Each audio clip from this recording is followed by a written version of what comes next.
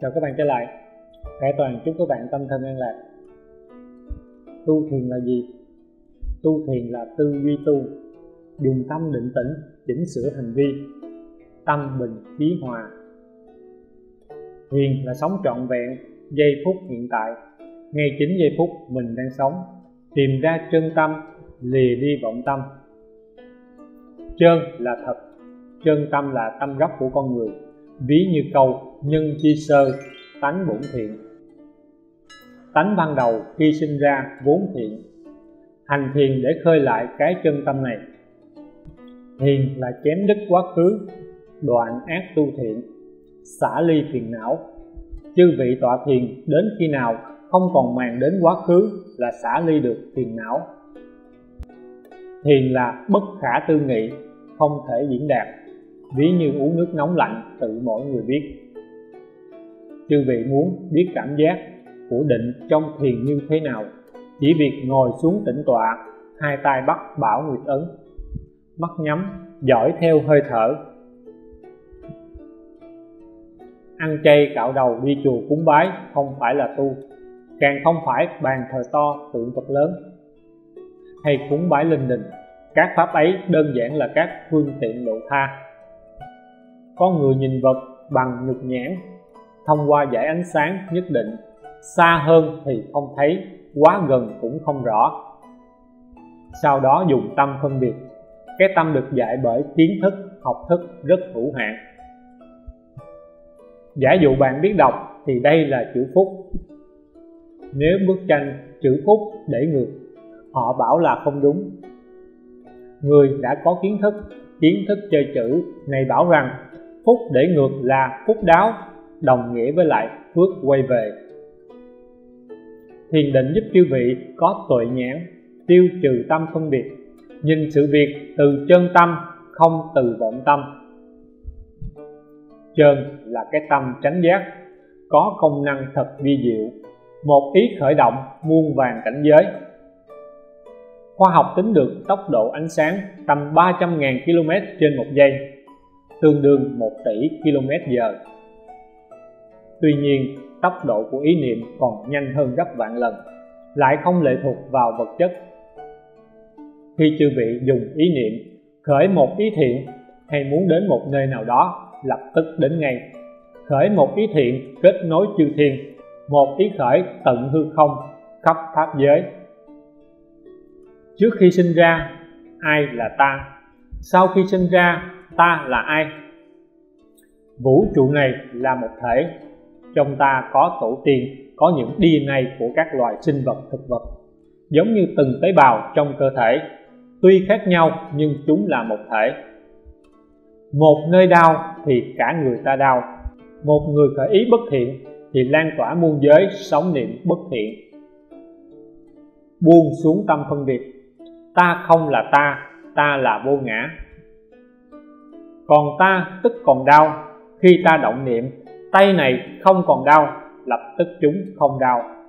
Chư vị vẫn thường xuyên đổi trạng thái này, thường xuyên đổi nhưng trong vô thức. Giả dụ đang rất đau đau đầu hay đói bụng, nhưng khi nghe tin vợ hay chồng mình mua cho mình một món quà đắt tiền, cơn đau kia lập tức biến mất. Phải chăng cái đau lúc nãy là giả? Vô ngã trong nhà phật là tánh không. Cái giả, cái thật này cũng là tánh không hãy lấy một cái kim đâm vào da thịt và vô tình bị kim đâm. Hai cảm giác này hoàn toàn khác nhau.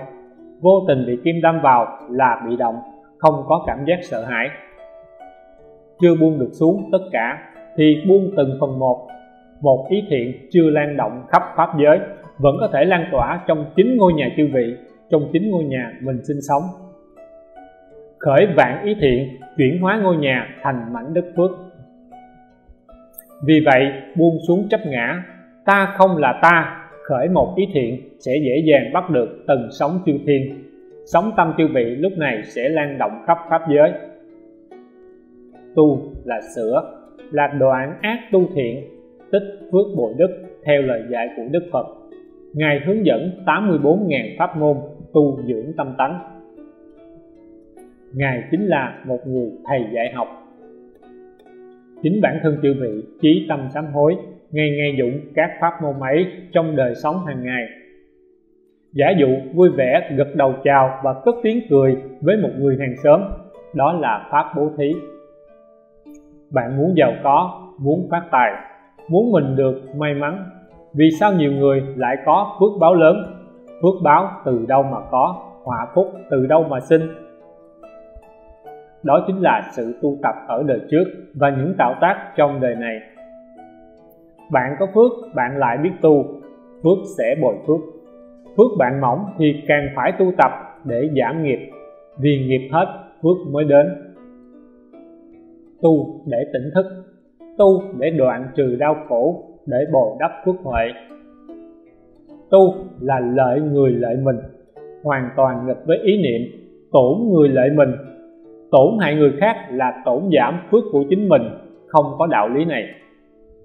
Vì thế, lợi người sẽ lợi mình. Tu như thế nào? Dùng phương pháp gì? Tùy vào lợi căn hạ căn mỗi người. Có người chỉ nghe pháp, không đọc kinh, không ngồi thiền. Có người chỉ ngồi thiền, có người đọc kinh, tùy vào căn cơ và điều kiện. Càng không phải thông qua vài buổi ngồi thiền hay làm vài việc lành tu tập là một cuộc thi kéo co rất dài hơi. Đối trọng của ta là ma chướng. Ma chướng đầu tiên là ngũ ấm ma, năm con ma bên trong của chúng ta. Tu sửa tâm tánh, giảm tham, giảm sân si của năm thức, mắt, tai, mũi, lưỡi, thân. Vì vậy, sự tu tập chú trọng về chất, không phải ở hình thức.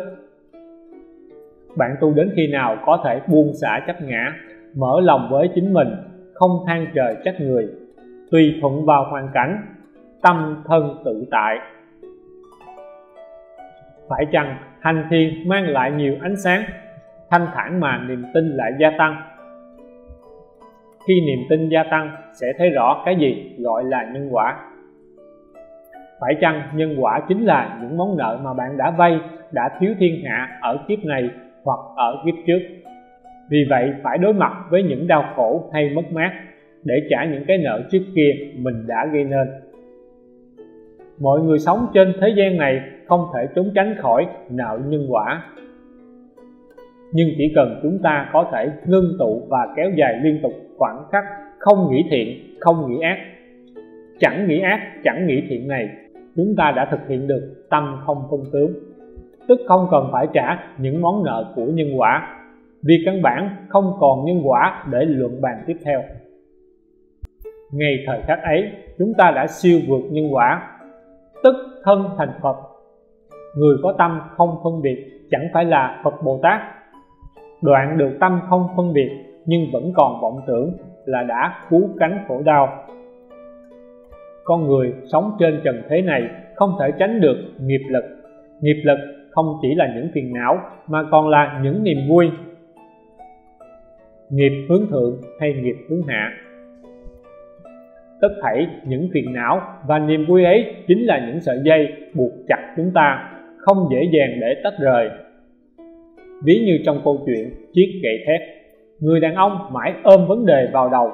Vấn đề ấy chính là sợi dây nghiệp lực quấn chặt tâm trí anh ta. Chỉ khi nào nghĩ đến việc khác mới có thể thoát khỏi sợi dây kia chúng sanh ta, tuy không thấy được sợi dây trói buộc phiền não, nhưng chúng sanh vẫn thường xuyên luôn cảm thấy mình lại phiền não. Cảm thấy bản thân luôn bị bó buộc, cảm thấy không thể giải thoát. Chính vì còn tâm phân biệt, còn tâm phân biệt là tự buộc tâm của mình vào quá nhiều sự vật. Trong đó, những tư duy, những cảm xúc hoàn toàn vô nghĩa chiếm một phần rất lớn trong tâm trí luôn phân biệt và hỏi vì sao. Tu thiền là tư duy tu, những thời khắc hành thiền tự tâm tư duy tự mình khai ngộ, lìa khổ đau. Người mới hành thiền sẽ bị vô vàng tập niệm, xâm chiếm tâm trí. Sau một thời gian nhất định, tâm định trí sáng, không còn đi tìm câu trả lời, làm sao lìa khổ, làm sao tăng phước nữa. Khải Toàn cảm ơn các bạn đã xem chúc các bạn tâm thân an lạc.